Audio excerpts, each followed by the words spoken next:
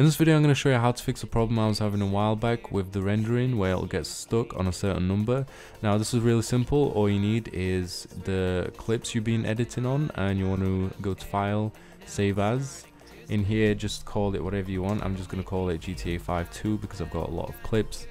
Save it, make sure double check just in case that's what I normally do and you want to go to file new in here you want to select your template that you've saved as default for your normal videos. What we're going to do is we're going to go to file import media.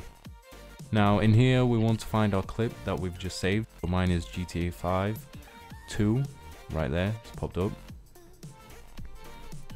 What we want to do is wait for this. So what we're basically doing is pre-rendering this if we drag it down here and as you can see that there is no more cuts in the video there's no more splits you can't see them anymore. That's because when you do this you pretty much put everything together. So if you add more layers on top of that it will put them all in one.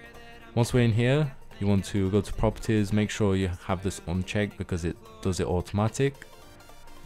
And you just want to double click to highlight all of this. Once you got all this selected, you just go to view and I normally like to turn off the video preview just because it makes the rendering much faster. I'm just going to quickly render this video and show you that it does work. I'm just going to call it GTA 5 2, same as the name.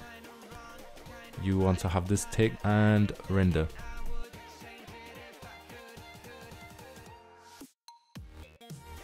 The video is fully rendered out and if I go to open folder we will preview to make sure that the video did fully render out.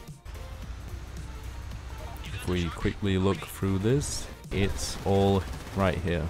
This is what I had been editing. But that was pretty much it. If this video was helpful, make sure you give it a thumbs up and let me know if this helped you or not. If it didn't, then let me know what your problem is because I'll try my best to see if I can help you out.